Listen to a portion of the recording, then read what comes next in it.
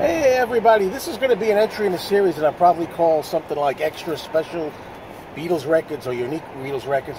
I mean, look at this one here. Oops.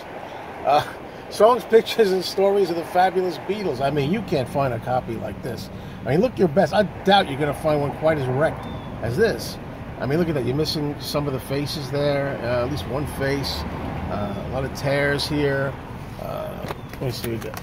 Nice dirty inner sleeve to accompany the record. Whoops.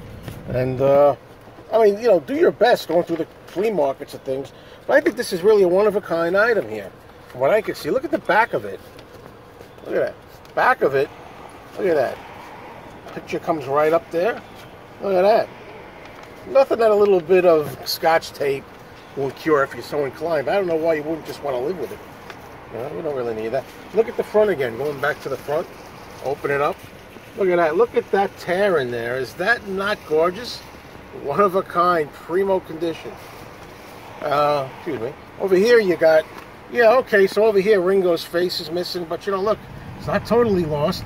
You can always just glue it right there. Just a little Elmer's. Take care of that there. Huh? And of course, you don't have to worry when you actually want to hear the record. Look at that. You don't have to be fussing around with the jacket, pulling it out of the jacket. Just like a book, it opens right up. Nice, beautiful seam splits all around. One of a kind item.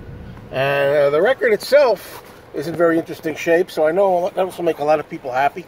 It's like uh, nice and scuffy, scratched up, guaranteed to skip.